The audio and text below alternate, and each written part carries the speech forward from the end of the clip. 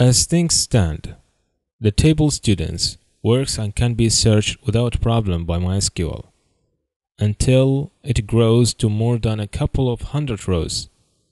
At that point, database accesses will get slower with every new row added because MySQL has to search through every row whenever a query is issued. This is like searching through every book in a library whenever you need to look something up. Of course, you don't have to search libraries that way because they have either a card index system or most likely a database of their own. The way to achieve fast searches is to add an index, either when you're creating a table or at any time afterward. But the decision is not so simple. For example, there are different index types, such as a regular index, primary key, and full text. Also, you must decide which columns require an index, a judgment that requires you to predict whether you will be searching any of the data in that column. And even when you have decided that, you still have the option of reducing index size by limiting the amount of each column to be indexed. If we imagine the searches that may be made on the students table, it becomes apparent that all of the columns may need to be searched. Anyway, go ahead and add an index to the columns name and surname using the following command. An alternative to using alter table to add an index is to use the create index command. They are equivalent except that create index cannot be used for creating a primary key.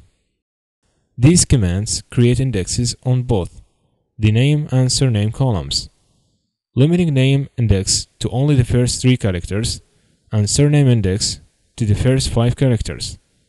For instance, when MySQL indexes the following name, Safa, it will actually store in the index only the first three characters. This is done to minimize the size of the index and to optimize database access speed.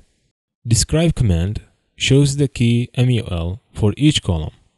This key means that multiple occurrence of a value may occur within that column, which is exactly what we want, as name or surname may appear many times. You don't have to wait until after creating a table to add indexes.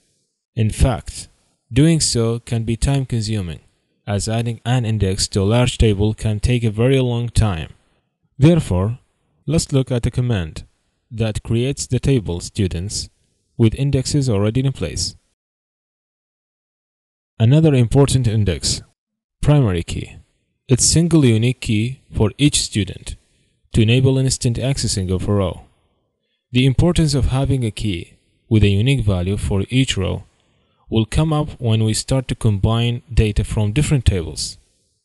You can add primary key while you create the table at the first time or later by issuing the following command.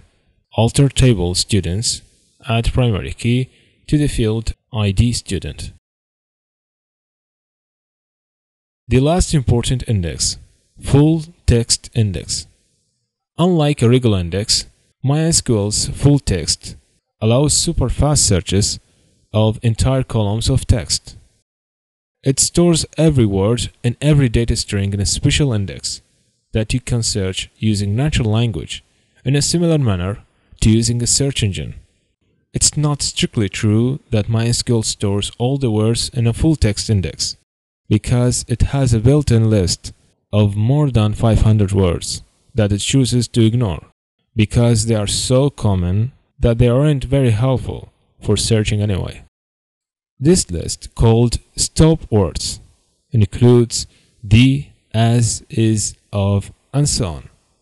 This list helps MySQL run much more quickly when performing a full text search and keeps database sizes down. Full text indexes can be created for char or varchar and text columns only. A full text index definition can be given in the create table statement when a table is created or added later using alter table or create index. Now let's add a full text index to the table students for the columns name and surname. This index is in addition to the ones already created and does not affect them. You can now perform full text searches across this pair of columns.